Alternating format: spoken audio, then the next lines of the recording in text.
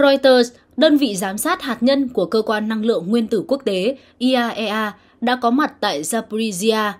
Đơn vị này cho biết các chuyên gia của họ nhìn thấy khói đen bốc ngùn ngụt từ khu vực phía bắc của nhà máy sau nhiều vụ nổ. Tổng thống Ukraine Volodymyr Zelensky cáo buộc Nga gây ra vụ hỏa hoạn. Ông cho biết đám cháy có thể được nhìn thấy từ thành phố Nikopol do Kiev kiểm soát. Nhà lãnh đạo Ukraine đã công bố đoạn video quay cảnh khói đen dường như bốc lên từ một tháp làm mát với ngọn lửa đang cháy ở chân tháp.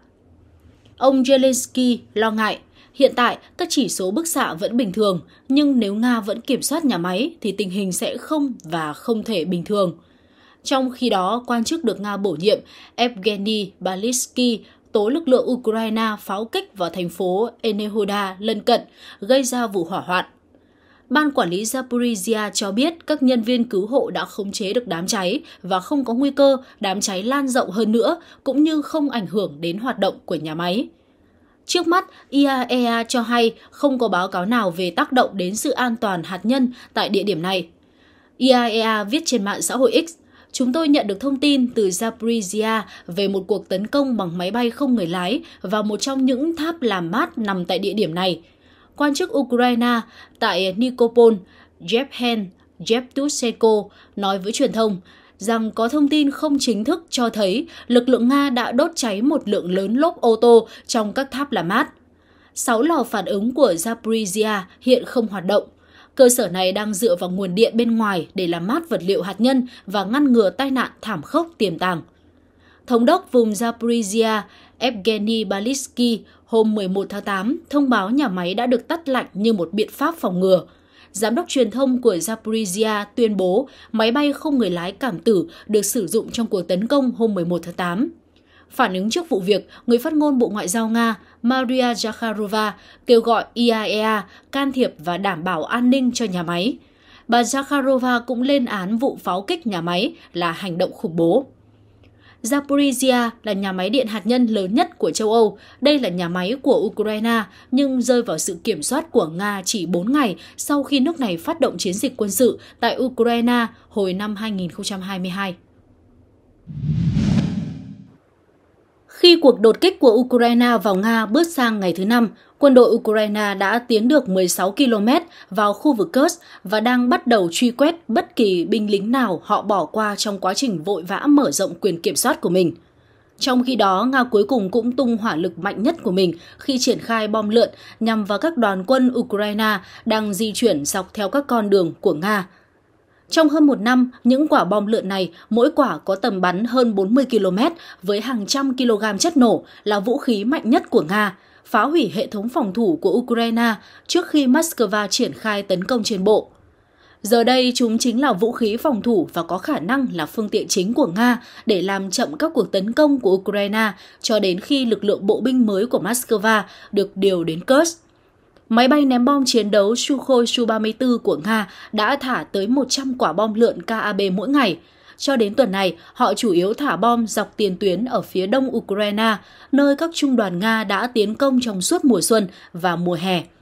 Chiến dịch ném bom bắt đầu chuyển hướng về phía Bắc ngày 6 tháng 8. Gần như cùng thời điểm, đội tiên phong gồm ít nhất 5 lữ đoàn của Ukraine vượt biên giới vào Kursk, bắt đầu cuộc xâm nhập bất ngờ trong tháng thứ 29 của cuộc xung đột khi các tiểu đoàn của Ukraine tấn công từ căn cứ của họ ở khu vực Sumy ngay bên kia biên giới với Kursk, bom Nga đã chút xuống như mưa. Cường độ các cuộc tấn công theo hướng Sumi đã tăng lên, đối phương đang tích cực sử dụng không quân, trực thăng và vũ khí hạng nặng. Bộ Tổng tham mưu Ukraine đưa tin ngày 7 tháng 8. Có một sự dịch chuyển đáng chú ý trong trọng tâm các nỗ lực trên không của đối phương trên chiến trường. Trung tâm Chiến lược Quốc phòng Ukraine cho hay đồng thời tiết lộ có tới 50% trong số những cuộc tấn công bằng bom lượn hiện nhắm vào các khu vực Kursk và Sumy. Dự đoán được sự phát triển này, quân đội Ukraine đã triển khai một lượng lớn các tổ hợp phòng không cũng như thiết bị gây nhiễu điện tử có thể chặn tín hiệu vô tuyến và trong một số trường hợp, thậm chí có thể ném bom dẫn đường bằng vệ tinh. Với sự hỗ trợ lớn từ UAV mang chất nổ, các tổ hợp phòng không của Ukraine đã bắn hạ một số trực thăng Nga, Đáp trả, pháo binh Nga đã gây hư hại một phương tiện phòng không BUK của Ukraine. Cuộc ném bom vào Sumy không ngăn được quân đội Ukraine tiến vào khu vực Kursk lân cận và chiếm được một số thị trấn, bao gồm hầu hết Shudha, cho đến nay là địa điểm phản công của Ukraine.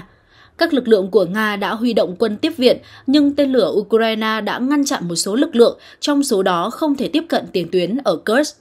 Vì vậy, máy bay ném bom chiến đấu của Nga đã chuyển hướng mục tiêu. Ngày 8 tháng 8, những quả bom lượn KAB đã tấn công các phương tiện của Ukraine tại ngôi làng Darino của Nga. Ngày 9 tháng 8, bom lượn đã tấn công dữ dội quân đội Ukraine ở Leonidovo, cách Darino không xa. Bom lượn của Nga với một số quả nặng tới 3 tấn đã gây ra mối đe dọa nghiêm trọng cho Ukraine. Khi giao tranh ở Kursk leo thang, các nhà chức trách đã ra lệnh sơ tán dân thường. Theo Forbes, đây là một diễn biến đáng lo ngại với Ukraine, bởi khi không còn dân thường, Nga sẽ thoải mái ném bom hơn. Belarus, đồng minh thân cận của Nga đã điều thêm quân tới tăng cường ở khu vực biên giới với Ukraine vào cuối tuần qua sau khi cáo buộc máy bay không người lái của Ukraine vi phạm không phận Belarus trong quá trình lực lượng Kiev tiến vào vùng Kursk của Nga. Bên cạnh đó, xe tăng của một trong các lữ đoàn cơ giới thuộc lực lượng vũ trang Belarus cũng đang trên đường đến biên giới với Ukraine. URA News dẫn nguồn Bộ Quốc phòng Belarus cho biết – theo thông tin trên kênh Telegram chính thức của cơ quan này, các quân nhân đăng tải thiết bị quân sự lên phương tiện chuyên chở đường sắt và bắt đầu hành quân tới các khu vực được chỉ định. Bộ Quốc phòng Belarus đã công bố video cho thấy một số xe tăng chủ lực thời Liên Xô được vận chuyển bằng đường sắt. Hiện vẫn chưa rõ mức độ củng cố lực lượng biên giới của Belarus ra sao và khi nào lực lượng mới sẽ đến khu vực triển khai. Trong một tuyên bố vào 11 tháng 8, cơ quan này cho biết một phần lực lượng cơ giới Belarus đã được đặt trong tình trạng báo động. Bộ trưởng Quốc phòng Belarus Viktor Horengin khẳng định các hệ thống tên lửa đạn đạo Iskander và bệ phóng tên lửa Polone cũng sẽ được đưa tới khu vực. Phát biểu tại một cuộc họp ở phía đông Belarus, Tổng thống Alexander Lukashenko nói rằng lực lượng phòng không hôm 9 tháng 8 đã phá hủy khoảng một tám máy bay không người lái của Ukraine sau khi các phương tiện này vi phạm không phận Belarus tại khu vực Mogilev, giáp với Nga. Hãng tin Belta dẫn lời ông Lukashenko cho biết, Tôi không hiểu tại sao Ukraine phải làm điều này.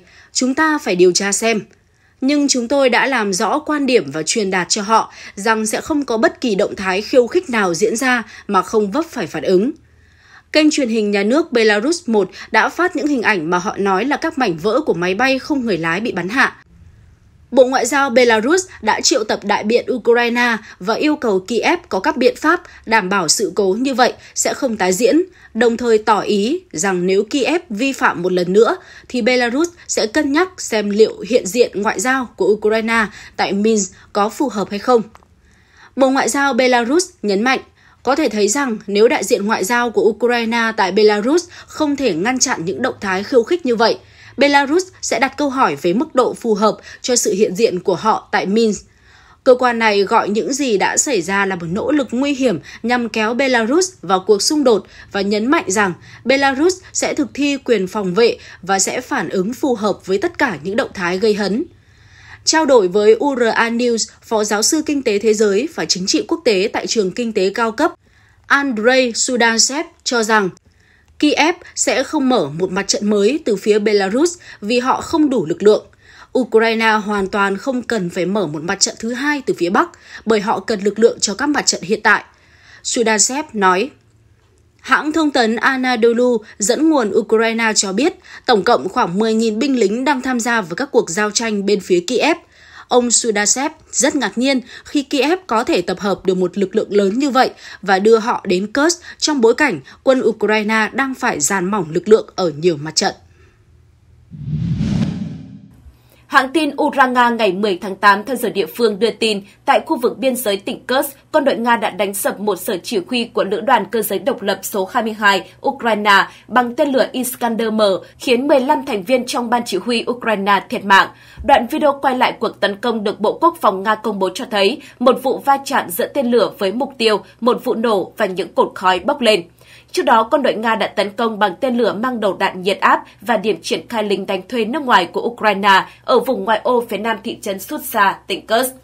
Bộ Quốc phòng Nga tuyên bố chỉ trong 24 giờ qua, lực lượng Ukraine đã mất thêm 175 binh sĩ và 36 phương tiện khí tài gần Kursk, nâng tổng số thiệt hại của họ lên 1.120 binh sĩ và 140 phương tiện quân sự kể từ khi phát động cuộc tấn công xuyên biên giới vào lãnh thổ Nga hôm 6 tháng 8. Cũng trong ngày 10 tháng 8, hãng thông tấn TASS cho biết, ngoài các binh lính Ukraine bị bắt giữ trong các cuộc giao tranh với lực lượng Nga, một quân nhân Ukraine mới đây đã tự nguyện ra đầu hàng tại Kursk. Trên kênh Telegram cá nhân, quyền thống đốc Kursk Alexei Smirnov đã công bố thông tin về vụ việc qua đoạn video do cư dân Kursk mang tên Yuri Vedrasko ghi lại. Trong đoạn video, Vedrasko cho biết, binh sĩ Ukraine kể lại rằng xe bọc thép chở quân của anh ta bị trúng hỏa lực của quân đội Nga và lao xuống mương. Do sợ hãi, anh ta đã trốn trong bụi rậm và tới sáng hôm sau mới dám đi ra đường làng. Người lính này nói, anh ta không muốn chiến đấu chống quân Nga, nhưng giấy tờ của anh đã bị giữ, chỉ được cấp một thẻ căn cước quân nhân và buộc phải tham gia chiến đấu. Trước đó, hôm 7 tháng 8, hãng tin RT Nga công bố đoạn video về một binh sĩ Ukraine bị bắt tại Kursk. Người này khai rằng mục tiêu của lực lượng đột kích Ukraine là xâm nhập vào Kursk là nhằm do thám và quay các đoạn video quảng bá để chứng minh Kiev đã chiếm giữ được một khu vực đông dân cư trên lãnh thổ Nga. Binh sĩ Ukraine nói trong cuộc thẩm vấn, chúng tôi đang trên đường tới Susa, chúng tôi có nhiệm vụ quay một đoạn video ở làng Gordievka, ngôi làng được cho là đã bị lực lượng Ukraine chiếm đóng. Binh sĩ này khai thêm rằng trong cuộc giao tranh với lực lượng Nga, anh ta đã bất tỉnh. Một lúc sau khi tỉnh dậy, anh ta thấy mình đã bị đồng đội bỏ rơi. Theo tờ New York Times ngày 10 tháng 8, Nga đang đẩy lùi cuộc tấn công lớn nhất của Ukraine và lãnh thổ bằng cách điều động quân tiếp viện, thiết lập các biện pháp an ninh nghiêm ngặt ở khu vực biên giới và tiến hành không kích. Nhắc lại thông báo của Bộ Quốc phòng Nga, New York Times cho biết, một trong những cuộc tấn công vào lực lượng Ukraine đã được tiến hành bằng vũ khí nhiệt áp, gây ra sóng xung kích cực mạnh. Theo Trung tâm Kiểm soát và chống phổ biến vũ khí trụ sở tại Washington, vũ khí nhiệt áp được xem là vũ khí phi hạt nhân mạnh nhất hiện nay với sức công phá khủng khiếp. Bình luận về nỗ lực cản phá của Nga ở Kursk, ông Pasi Paronen, nhà phân tích đến từ tổ chức Black Bus Group có trụ sở tại Phần Lan, chuyên phân tích hình ảnh vệ tinh và nội dung mạng xã hội từ chiến trường, nói rằng có bằng chứng cho thấy Moscow đã có thể ngăn chặn những bước tiến lớn của Ukraine trên lãnh thổ Nga cuối tuần này. Ông Paronen nói, trong 3 ngày đầu tiên, chúng ta đã chứng kiến sự di chuyển nhanh nhất của lực lượng Ukraine, nhưng tới ngày 9 tháng 10, tôi nghĩ rằng chúng ta đã bắt đầu thấy tác động tới các biện pháp đáp trả của Nga. Một số ý kiến cho rằng Kiev đang hy vọng cuộc tấn công vào Kursk có thể làm sao nhãng và chuyển hướng lực lượng Nga từ những khu vực mặt trận ác liệt nhất hiện nay ở Ukraine, để các đơn vị phòng thủ của Ukraine vốn đã rất mệt mỏi vì chiến đấu có thời gian nghỉ ngơi cần thiết.